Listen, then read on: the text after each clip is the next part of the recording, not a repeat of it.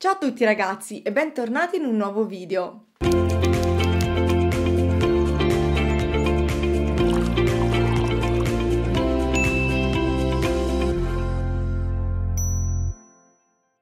Oggi parliamo delle ultime letture, le letture che ho fatto durante i mesi estivi, quindi ritorniamo a parlare di libri. Prima di farlo però vi ricordo come sempre di iscrivervi al canale e attivare la campanella in modo da ricevere una notifica ogni volta che uscirà un mio nuovo video e se non lo fate già seguitemi anche su Instagram, io sono Martina Tazza. Cominciamo! Quest'estate ho letto quattro libri e sono molto felice di parlarvi di ognuno di loro perché ci sono delle cose che insomma mi fa piacere discutere eh, con voi e poi noi potremo parlare insieme anche nei commenti. Il primo libro del quale vi parlo è La vita segreta di Maud Dixon di Alexandra Andrews. Ho acquistato questo libro un po' di tempo fa, in realtà all'inizio dell'estate credo, proprio perché mi attirava la copertina e eh, devo dire che sono stata fortunata perché eh, alla fine anche il contenuto era altrettanto bello e interessante. La storia è quella di Florence e di appunto Maud Dixon. Maud è una scrittrice, ma questo non è il suo vero nome, è uno pseudonimo che questa donna utilizza eh, per pubblicare i suoi libri, o meglio, il suo libro più famoso, quello che l'ha resa eh, famosa appunto a livello mondiale, ma eh, nessuno sa chi sia in realtà, quindi tutti si domandano chi si cela dietro questo nome nome fittizio eh, perché è una donna insomma dall'incredibile bravura dato che ha scritto un, un libro amatissimo dal grande pubblico. Abbiamo poi Florence che invece lavora eh, per una, un'agenzia se non erro letteraria quindi comunque sempre a contatto con i libri e la vita vuole che eh, alla fine lei si ritrovi ad essere l'assistente di Maud Dixon. Ovviamente lei eh, conoscerà quindi questa donna, il suo vero nome e inizierà ad assisterla nella sua vita quotidiana e nel suo lavoro di scrittrice. Questo le permetterà di conoscerla, di, di avere la risposta a tante domande che si faceva su questa autrice, ma soprattutto si renderà conto che questa donna eh, ha anche tanti segreti. Le due donne insieme, quindi eh, la, l'autrice che si cela dietro Maud Dixon e eh, Florence andranno in Marocco perché la, la, la scrittrice deve eh, trovare l'ispirazione per una parte del suo nuovo romanzo che si ambienta appunto in Marocco. Qui un giorno Florence si sveglia in una stanza di ospedale, ha avuto un incidente, tutti la chiamano Maud credendo che appunto eh, lei sia Maud Dixon e eh, la, la, la sua capa, diciamo, la scrittrice non c'è più. Quindi forse è arrivato il suo turno di essere Maud Dixon? Vi faccio questa domanda perché la troverete anche all'interno della trama, quindi in realtà non vi ho svelato niente, ma vi garantisco che ci sarebbe molto molto di più da dire. È un, io lo definirei quasi un thriller, nel senso che è un romanzo di quelli che inizia piano piano, ma nel momento in cui l'azione eh, entra in gioco ci troviamo a, ad andare avanti a una velocità eh, raddoppiata perché dobbiamo assolutamente sapere come va a finire. Quindi da metà in poi preparatevi a divorare questo libro. Questo perché? Perché l'autrice eh, Maud Dixon, quindi quella del, del libro, ecco, è effettivamente un personaggio molto particolare, un personaggio che ha delle caratteristiche evidenti e delle caratteristiche invece un po' più nascoste che eh, verranno svelate andando avanti nella lettura e che la rendono ancora più intrigante. Ma parliamo invece di Florence, che è l'effettiva protagonista, visto che eh, tutto è raccontato dal punto di vista di questa ragazza. Beh, la particolarità di Florence è il fatto che è una protagonista assolutamente fuori dalle righe, perché è una, una donna, una giovane donna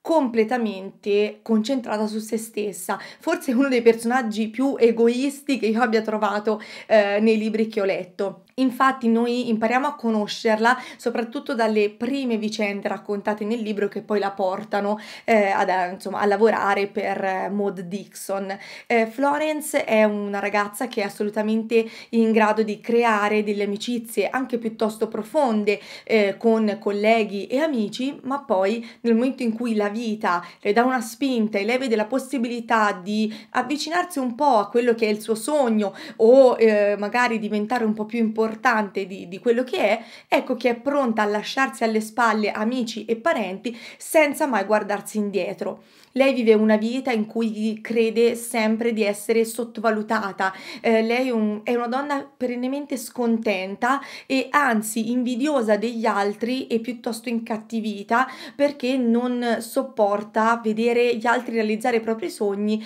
e lei invece sentirsi sempre un po' nell'ombra, anche se lei forse in quell'ombra ci sta bene perché questo le permette di fare delle cose non proprio lecite senza essere particolarmente notata. Insomma, io spero con queste parole di avervi un po' incuriositi eh, su questo personaggio così strampalato che però appunto si ritrova a, a dover lavorare per un'autrice che forse è, è, è altrettanto strampalata ma potrebbe esserlo anche di più. Un libro con una bellissima storia, una bellissima avventura, una lettura che ho fatto con grande piacere e che vi consiglio eh, di recuperare perché secondo me merita. Il secondo libro che ho letto quest'estate è stato Per ricominciare, guarda tra le pagine di un libro di Ali Berg e Michel Calus. Allora, eh, questo libro è la perfetta lettura estiva, la perfetta lettura da ombrellone, anche se io non l'ho trovata mh, mm, e non, ho tro- non l'ho trovata eccezionale, però diciamo che per una lettura leggera, ecco, ci sta. La protagonista è Bea, una ragazza che eh, a causa di un, un, errore, e non ve lo dico perché è anche piuttosto divertente ed è proprio all'inizio, a causa di questo errore lei si ritrova improvvisamente sola. Eh, la sua migliore amica non le vuole più rivolgere la parola e lei decide di trasferirsi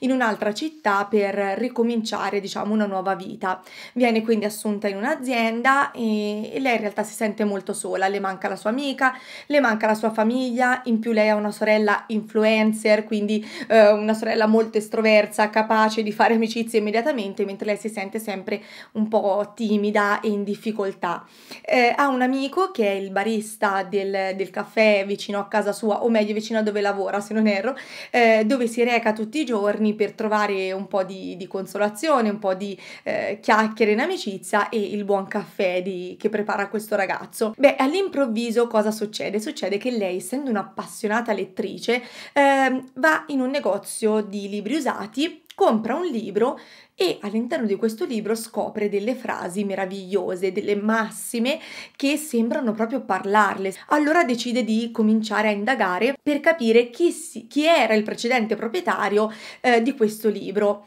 Eh, questo quindi la porterà, diciamo, ad aprire un, un, eh, un, profilo su Instagram per cercare il proprietario del libro eh, e la porta anche ad organizzare degli eventi letterari che potrebbero metterla in contatto proprio con chi aveva quel libro prima di lei. All'improvviso arriva un ragazzo, un ragazzo bellissimo, stupendo, perfetto, dai, il classico ragazzo dal romanzo rosa, che si scopre essere proprio quella persona che lei stava cercando. Quindi i due cominciano a parlare e inizia tra di loro una relazione. Le cose non possono andare così lisce per tutto il tempo, quindi io non vi dico cosa succede dopo, sappiate solo che c'è un bel colpo di scena che rimescola le carte e che eh, insomma la, la, la porteranno a dover un po' rivalutare i, tutti i rapporti che ha eh, diciamo creato in, in, questa nuova città dove si è trasferita. Perché vi dico che il libro non mi è particolarmente piaciuto? In realtà mi è piaciuto, quindi io non mi sentirei di non consigliarvelo, soprattutto se vi piace il genere.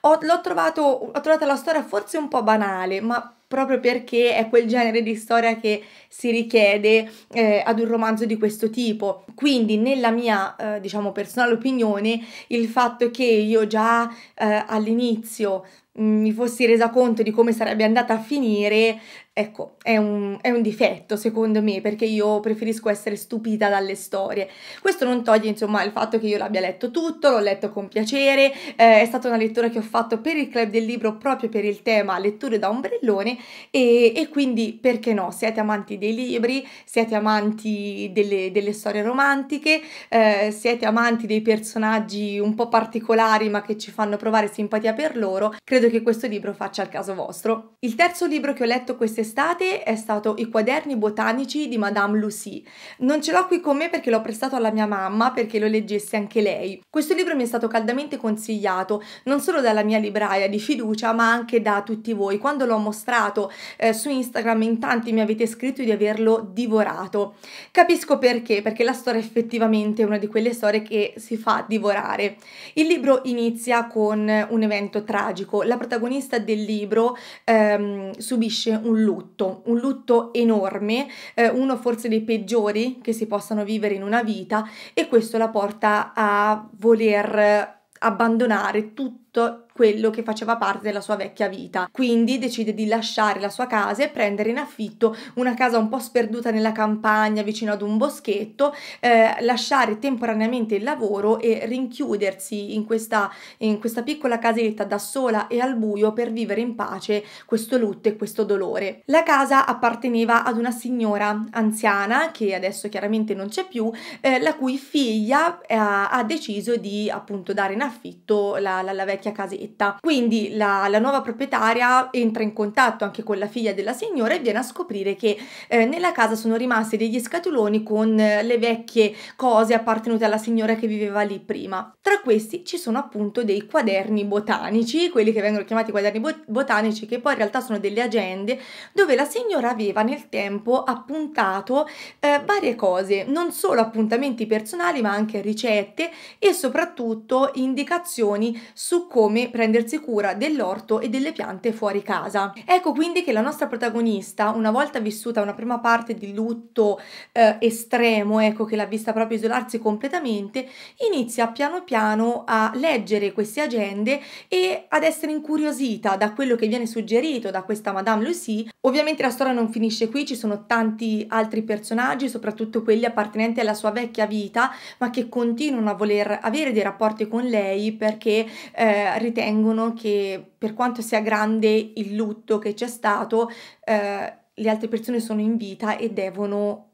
trovare la forza di andare avanti e di continuare appunto a vivere. Inoltre c'è una parte molto interessante sul, su come la nostra protagonista eh, decida di onorare la memoria delle persone che ha perso eh, in una maniera molto personale, quindi non necessariamente legata ad una religione, ma in una maniera che lei sente più, più vicina alla sua natura, più vicina al suo cuore. Allora il libro è bello effettivamente, come mi avevate scritto anche voi, anche la mia mamma che l'ha praticamente finito mi continua a dire che il libro le sta piacendo molto. Eh, è bello vedere come la protagonista eh, riesca a guarire attraverso le cose semplici come può essere la natura e questo è un grande insegnamento che eh, io stessa ho imparato sulla mia pelle. Secondo me l'unica pecca di questo libro è che l'ho trovato un po' superficiale, cioè si affronta una uh, rinascita in una maniera che secondo me io la definisco piaciona, nel senso che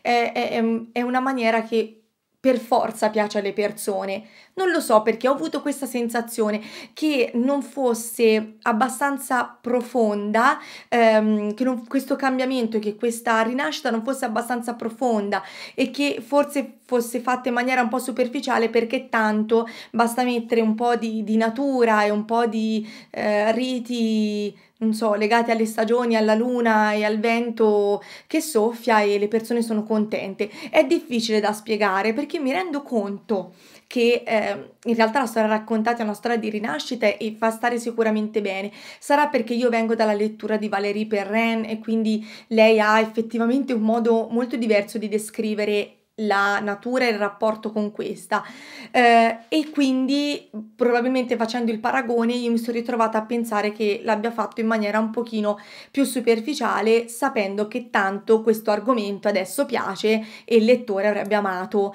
eh, una cosa del genere. In più non apprezzo moltissimo le storie tutte in salita. Quindi protagonista che affronta una difficoltà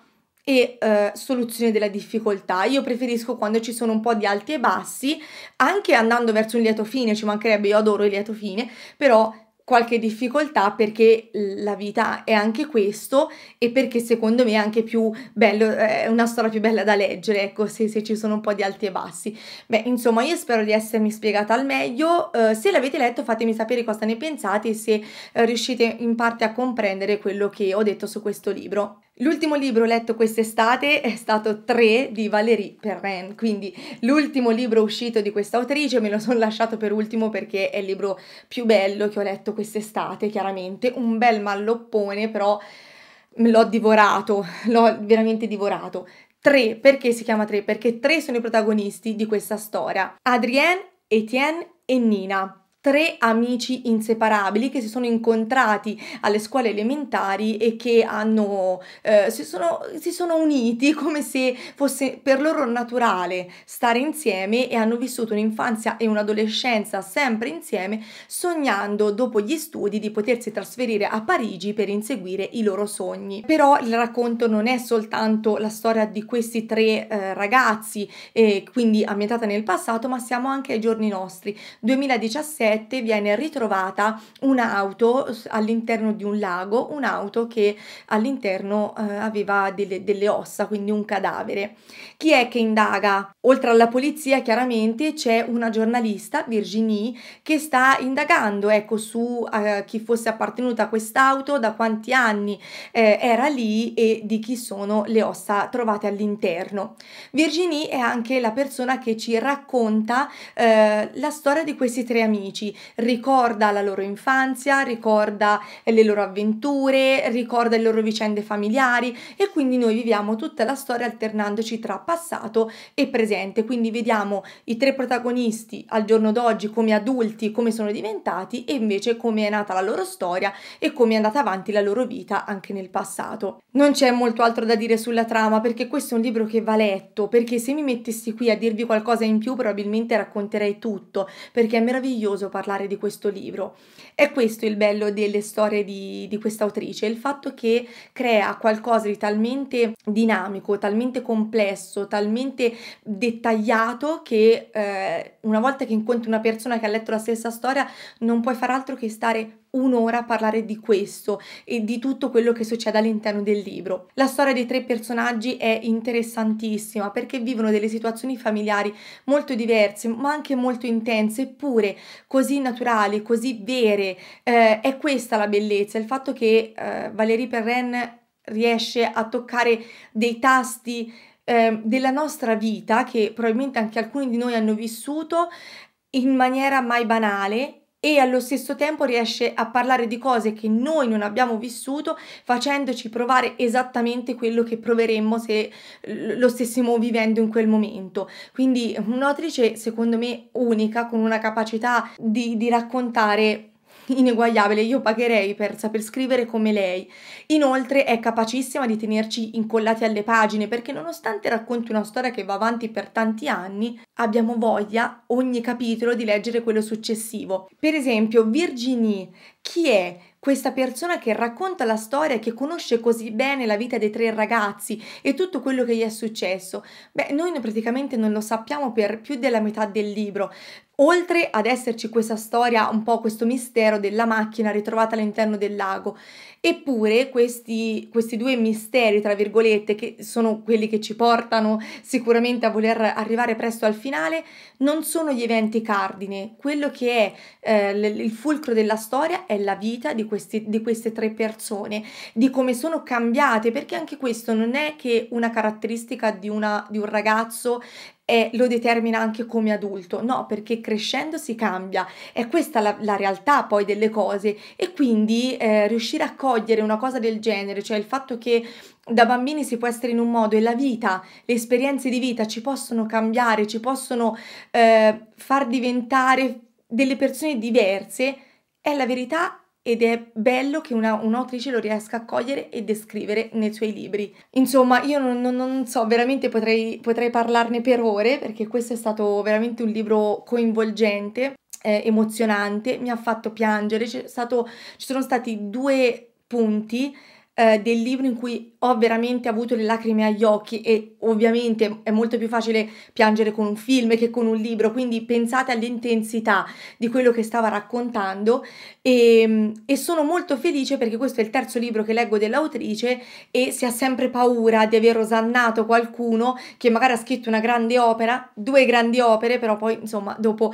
è difficile eh, mantenere no, il livello, invece qui secondo me assolutamente l'ha mantenuto. Ormai questa autrice voi la conoscete perché ve ne ho parlato tantissimo. Anche voi mi avevate scritto su Instagram che era uscito questo libro perché sapete quanto io la ami e quindi non posso fare altro che consigliarvi a mia volta la lettura di questo libro se ancora non l'avete fatto. Bene ragazzi, il video finisce qui, io spero che vi sia piaciuto, eh, ma soprattutto sono felicissima di essere tornata a parlare di libri, quindi mi sono un po' lasciata andare e ho chiacchierato. Adesso tocca a voi parlare, quindi fatemi sapere nei commenti cosa avete letto quest'estate e cosa pensate delle letture che ho fatto io. E niente, noi ci vediamo prestissimo con un altro video. Ciao!